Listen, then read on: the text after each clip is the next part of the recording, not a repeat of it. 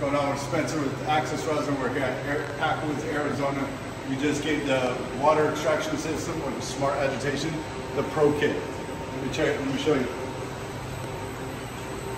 First, we upgraded the sieve system. We got our new electric spin vibration sieve system upgrade. It's super quiet.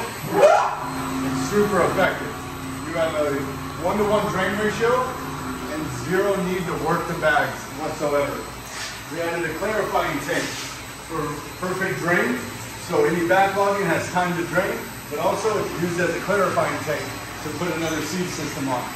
We upgraded the whole system with a 5 meter square heat exchanger. It's going to recirculate the water continuously in our cold double jacketed polyurethane injected tank and make sure that that water induced at 60, 70 degrees is cooled to 32 in a very short time, about 20 minutes flat. We upgraded the pump, the water pump, and we upgraded everything from a three-quarter inch water hose to a one inch PVC Schedule 40. We tied in a UNI connector at every port so we can move, remove the pump if we have to, remove the tank if we have to. We got this system prepared to add 1,500 more gallons of water, which those tanks will be hooked up to a pump out here. When this water is cooled in this cool room at 40 degrees, our incoming water is going to be about 60 degrees. We're going to drop that down here with our storage of 500 gallons.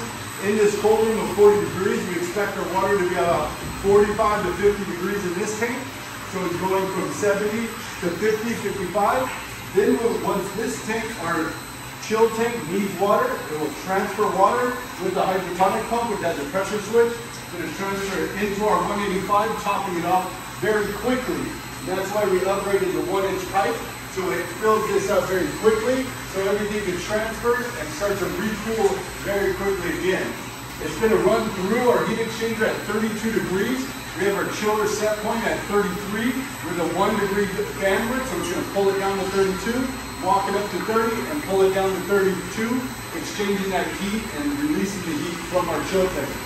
That tank will transfer through.